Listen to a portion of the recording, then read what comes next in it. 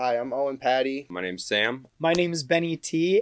I am a collector. I would definitely consider myself a collector. I am a collector. A collector, um, I don't know if there's necessarily, uh, you know, one definition. Someone that buys multiple of something they don't necessarily need. Somebody who really enjoys something and has a collection, uh, a grouping of items. I usually say a five or more. Someone who has a lot of stuff and probably has way too much stuff if you're a collector. I collect band t-shirts, old video games, Shoes, that was my first like addiction. sneakers, Toys and vintage handheld uh, gaming systems. action figures, comic books. I mean, I do too much. Favorite thing I ever collected probably would be Pokemon Gold and Silver Special Edition Game Boy box. It's just a box, but it's so hard to come by, and it's just something that is very nostalgic for me. My favorite find that I found recently out thrifting. Um, it's a Slipknot button-up shirt. Slipknot's a heavy metal band, obviously. Uh, I collect their T-shirts as well, but for me to find something like this, it's a lot more unique. It's pretty similar to the ones I used to wear on stage and still do. A band t-shirt that I was searching for for since I was a little kid because it was in the original Ninja Turtles movie. It was a Sid Vicious shirt that Danny was wearing. It was one of the most rewarding feelings is finding that shirt in my size, good condition, wearable. And I, when I finally had it, I just felt like I really did something, even though I just bought a T-shirt. It's it's an emotion, it's a feeling.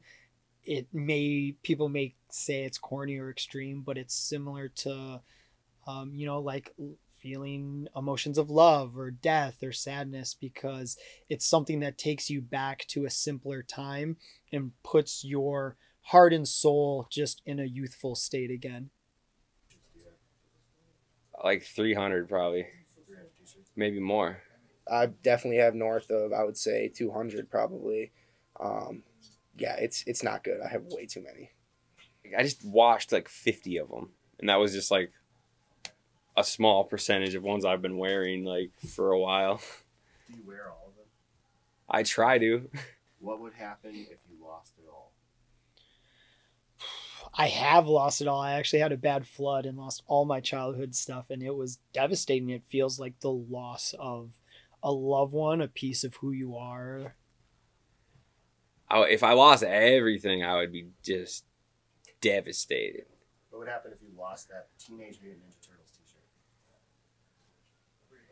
I mean, I'd be pretty pressed because it's it's I, I'm looking for it all the time. Like I'll buy multiple. Like there's a Godsmack shirt I have that I own three of, you know, the same shirt. So it's I would own three of that shirt if I could get my hands on it. And if I lost the only one that I have, ah, man, tears, real tears. Do you have a message for any other collectors out there? just stay true to what you like. That's what I would say is the most important thing. If you're a true collector, you're not going to care about the hype. Patience saves pockets. It's a good way to make sure you really want what you're thinking about. Don't be afraid of what you like, embrace it and enjoy it and indulge.